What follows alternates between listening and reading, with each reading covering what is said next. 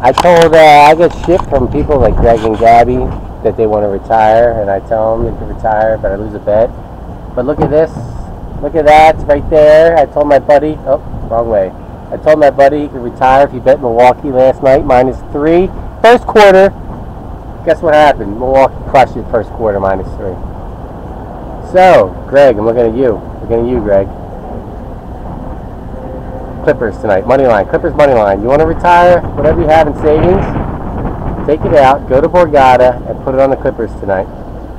You too, Caesar. We're going to go Clippers money line. Uh, I think it's minus a half actually for the Clippers. And we got two big baseball bets. We already took uh, Toronto today run lines a little late. They're up 12 to 0. We have uh, two games today. We got San Francisco Giants minus 120. That's a guarantee. We're to take San Diego Padres run line. Uh, I think that's minus 125 also. They're going to crush the Arizona Diamondbacks. They're terrible. Got a new table. This is great. Everything's good. I got Dale Earnhardt. My boy Dale Earnhardt. I never lose with Dale Earnhardt.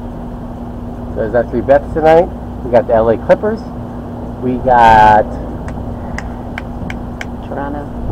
Toronto already won. Uh, and San Francisco and San Diego. So now let's go win us some money, baby.